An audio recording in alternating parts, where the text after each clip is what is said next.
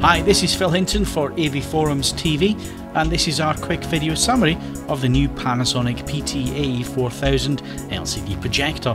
The design of the unit has not changed from the previous models, and in our opinion, still looks like a black brick of a box without any design flair. But at the same time, it's functional and easy to set up.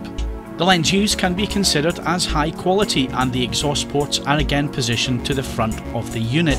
The top section of the body houses the lens shift wheels for aligning the lens to the screen, but zoom and focus are remote controlled. The first main new feature of the projector is the newly engineered red rich lamp, which is said to enhance the red energy spectrum of the light output to provide a brighter calibrated image when compared to normal UHP lamps. Latest remote control is a small yet fully featured unit that allows access to most of the major inputs and picture controls, along with a backlight for using in your darkened cinema room. Entering the main menu system, and again the PT-AE4000 is fully featured, with enough control over the picture and setup to allow for excellent calibrated images. It also allows features like the dynamic iris to be selected or switched off. Moving to the advanced menu and we come to the latest new calibration feature which is a full gamma editor tool that we can select RGB or white points from 0 to 90% for fine tuning of the gamma and grayscale calibration. There are also the usual 2 point grayscale white balance controls and also new this year is an RGB YCM 3D colour management tool. Although we do not like the box layout and suggest that you use a workaround approach to calibrate the colour points, the system does eventually work very well.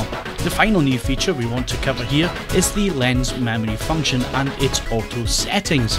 With this control you select a 235 to 1 or 16 by 9 image inputs and when you switch between 16 by 9 and scope material the projector automatically applies the memory zoom and focus tools to adjust the image.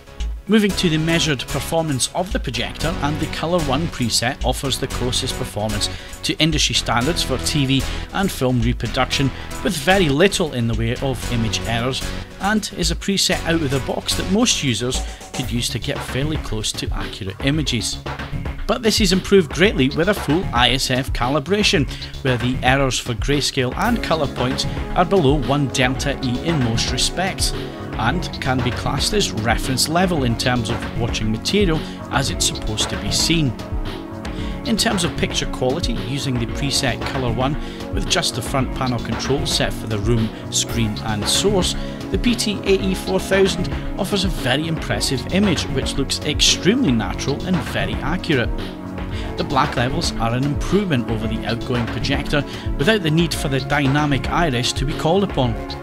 Dynamic range is also very good with a nice depth to the image and plenty of shadow detail on show. Calibrated settings adds in a slight improvement again to finer shadow detailing on faces with a natural skin tone. In both modes, colours look natural and realistic, with a performance that matches the mastered material.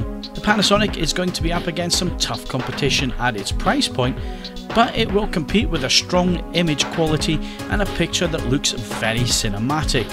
Overall, I'm struggling to find any real niggles with the PT-AE4000 images or price point, and it scores a highly recommended badge.